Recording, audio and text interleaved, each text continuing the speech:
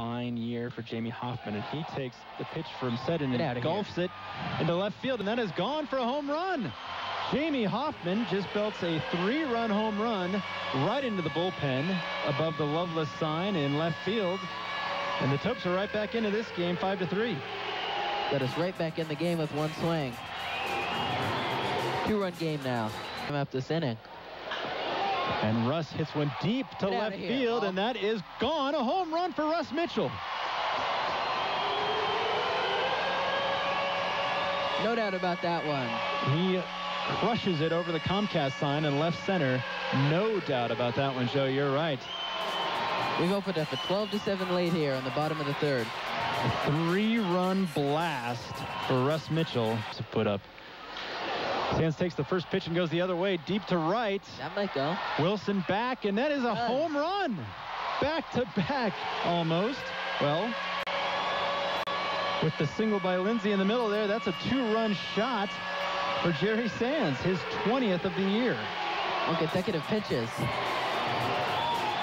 Mitchell, Lindsey, and Sams all are very productive on consecutive pitches. Rose pitch is driven deep to left center, and it's gone. Another home run for Jamie Hoffmann. Unbelievable. This is insane.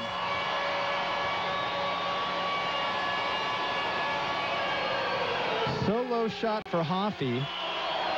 That is the third home run in this inning. In that bottom of the third.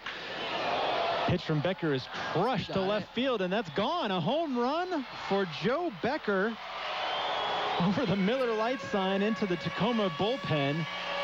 And boy, the hit parade continues for the Topes. Solo home run now extends the lead to 16 to 7.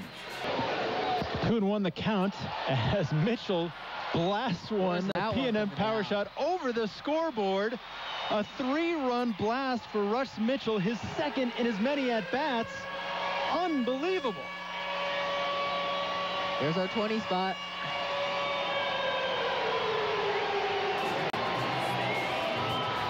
Twenty to seven.